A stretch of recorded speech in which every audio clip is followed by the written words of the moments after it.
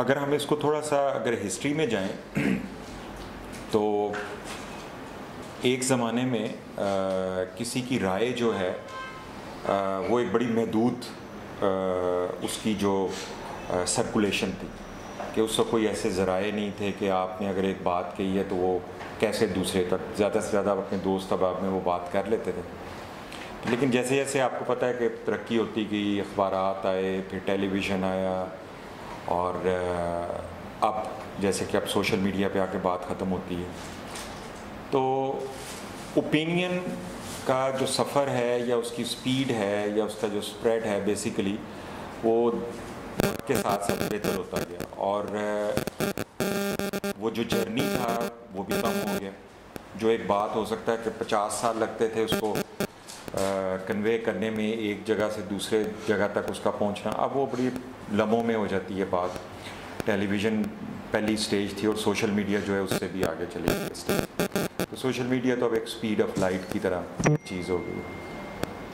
اب جو اصل چیز وہ یہ ہے کہ میں اوپینین سے کیوں اس کا آغاز کر رہا ہوں اور کیوں کہہ رہا ہوں کہ یہ کیوں اتنا امپورٹنٹ ہے کہ دنیا میں ہر تبدیلی کے پیچھے اوپینین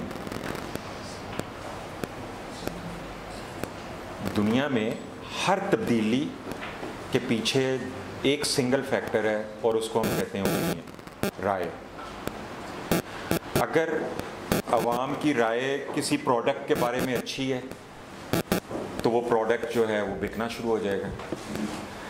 اگر عوام کی رائے جو ہے وہ کسی پولیٹیکل پارٹی کے حق میں ہے، تو وہ پارٹی الیکشن جیت سکتی ہے۔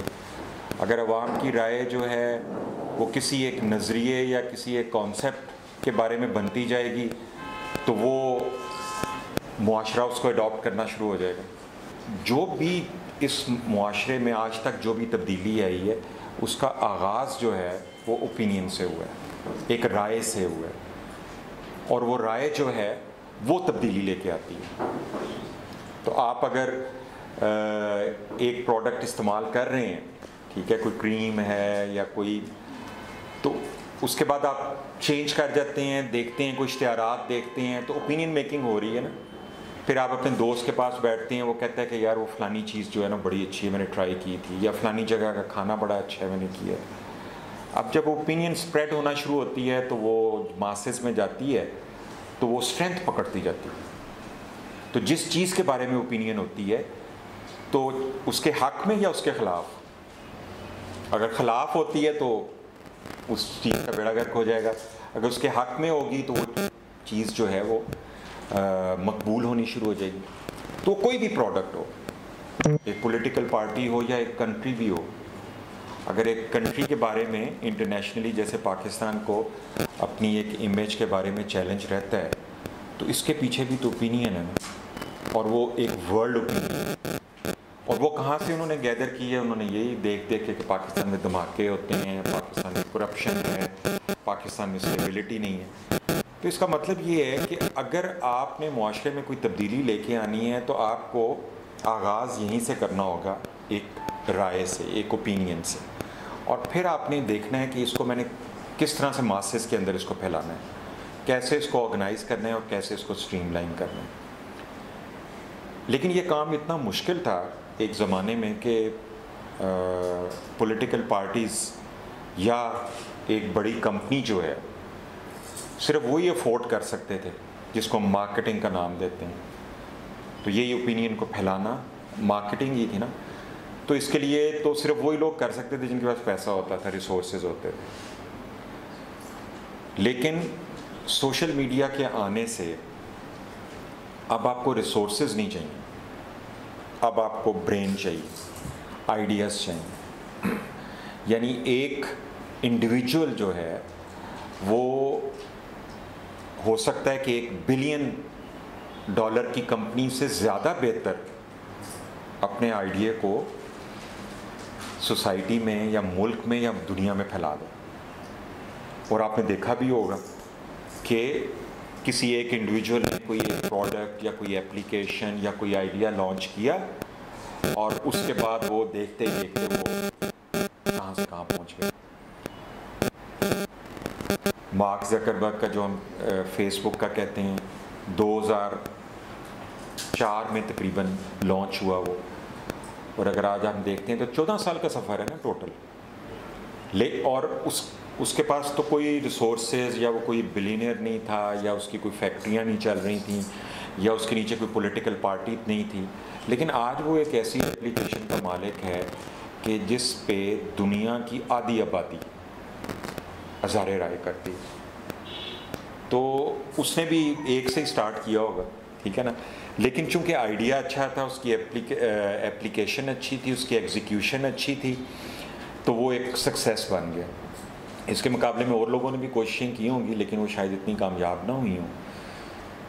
تو یہ دیکھتے ہوئے میں یہ سمجھتا ہوں کہ آج جو ہے ایک اپرچونٹی ایگزسٹ کرتی ہے۔ ان تمام لوگوں کے لیے جن کے پاس ریسورسز کم ہیں، ان تمام لوگوں کے لیے جن کے پاس اپرچونٹیز نہیں ہیں، ان کے لیے آج یہ اپرچونٹی ایگزسٹ کرتی تو ہم اگر یہ سفر جو ہے انڈیویجولی شروع کریں یا کسی کانسیپٹ میں کریں، جیسے پازیٹیو پاکستان کر رہے تو اس کو کامیاب بنانے کے لیے اس سے بہتر اپرچونٹی آج کوئی نہیں لیکن اس میں ایک چیلنج آپ کو میں بتاؤں۔ وہ یہ ایک چیلنج ہے کہ آپ ہر ملک میں، جب ہم نے اپنے ملک میں کوئی گورنمنٹ چینج ہوتی ہے تو الیکشنز ہوتے ہیں۔ تو بیسیکلی الیکشنز کیا کیا ہے اس کے پیچھے ایک مقصد کیا ہے کہ وہ جو آپ کی اوپینین بیس کروڑ لوگوں کی ہے، اس کو ایک دن، ٹھیک ہے، ایک فارمیٹ کے تحت کہ آپ نے اس کو ووٹ کرنا ہے، اس کو ووٹ کرنا ہے، آپ کو بتایا جاتا ہے اور اس دن بیس کروڑ عوام میں سے جو بھی زیادہ لوگ میجورٹی جو ہے وہ جا کے ووٹ کا استعمال کرتے ہیں۔ جب یہ ٹائمنگ اور فارمیٹ کیا جاتا ہے چیزوں کو اوپینین کو تو اس کا نتیجہ کیا نکلتا ہے کہ آٹھ دس کروڑ لوگ اپنی اوپینین کا اظہار کرتے ہیں اور الیکشنز ہو جاتے ہیں؟ لیکن اگر آپ کہہ دیں کہ جی آپ اپنی مرضی پہ اور جیسے مرضی اپنی اوپینین کا اظہار کرتے رہیں کہ مجھے یہ پارٹی اچھی لگتی ہے یہ لیڈر، کیا اس سے کوئی نتیجہ سامنے آئے گا؟ کبھی نہیں آئے گا۔ اس لیے اگر آپ نے اپنی زندگی میں کوئی بھی آپ کا مقصد ہے اور اب میں وہ ڈیجیٹل موبلائزیشن کی طرف آ رہا ہوں تو اس کو چینلائز کرنا از ویری امپورٹنٹ اگر آج لیٹ سے ہم ازیوم یہ کرتے ہیں کہ جو ہمارے اسٹیٹسٹکس کہتے ہیں کہ پاکستان میں ستر فیصد آبادی جو ہے، وہ تھرٹی فائیو ایئر سے بلو ہے۔ تو ستر فیصد کا مطلب یہ ہوا کہ تقریباً چودہ کروڑ، چودہ پندرہ کروڑ، ٹھیک ہے نا؟ کوئی پندرہ کروڑ آبادی جو ہے وہ پینتیس سال سے نیچے ہے۔ اب پینتیس سال سے نیچے ہونے کا مطلب یہ کہ اس میں اسٹوڈنٹس ہیں۔ اس میں وہ لوگ ہیں کہ جنہوں نے اپنے کیریئر کا آغاز کیا ہے یا میڈ آف دا کیریئر میں ہیں اسٹرگل کر رہے ہیں یا کامیاب ہیں یا ابھی ایکسپیریمنٹ کر رہے ہیں۔ تو ایک ملتی جلسی سی فیز ہے کنسرٹینٹی والی بھی ہے۔ تو اس میں ایک خاص آپ کو طبقہ جو ہے نا موجود نظر آئے گا آپ کو تیس اور پینتیس سال سے نیچے کی عمر کے لوگوں میں۔ اور آپ لوگوں کے ویوز ہیں بڑے کہ اس ملک میں ایسے ہونا چاہیے، ہمیں اپرچونیٹیز ایسے ملنی چاہیے، ہمیں تعلیم کے لیے یہ ملنا چاہیے، تعلیم کے بعد ہمیں یہ ملنا چاہیے۔ اس کا اظہار آپ کرتے ہوں گے، ہر بندہ کوئی ٹویٹ کر دیتا ہے، کوئی فیس بک کر پہ چلا گیا، کسی نے لائک کر دیا۔ تو آپ یہ سب کچھ اپنے اپنے ٹائم میں اپنے اپنے طریقے سے کر رہے ہیں۔ لیکن جس دن آپ لوگ سارے اکٹھے ہو جاتے ہیں اور آپ کہتے ہیں کہ آج رات نو بجے سے لے کے دس بجے تک میں نے hash tag so and so کرنا ہے، اس کا امپیکٹ سامنے آتا ہے۔ کہ آپ کو جو ٹویٹر کا بلٹ ان سسٹم ہے، وہ کہتا ہے کہ اس وقت ٹاپ ٹرینڈ جو ہے نا وہ یہ ہے۔ اب یہ وہی لوگ ہیں کہ جو ویسے پہلے بھی موجود تھے، جن کی پہلے بھی مختلف اوپینینس تھی، لیکن ایک دن جب وہ مل کے یہ فیصلہ کرتے ہیں کہ اس ٹائم پیریڈ میں جا کے ہم نے اس اوپینین کے بارے میں بات کرنی ہے، تو اس کا دیکھیں امپیکٹ کیا آتا ہے۔ اب وہ جو uh, ٹاپ ٹرینڈ کرتا ہے، وہ تو ایک نیوٹرل چیز ہے نا۔ وہ تو کوئی جعلی سروے نہیں ہے، جس طرح کہ ہمارے ملک میں ہوتے رہتے ہیں۔ وہ تو ایک ڈیجٹس کا کھیل ہے، اس کو کوئی کچھ نہیں کر سکتا۔ آپ نے اگر کر دیا تو اس نے آنا ہی آنا ہے اوپر۔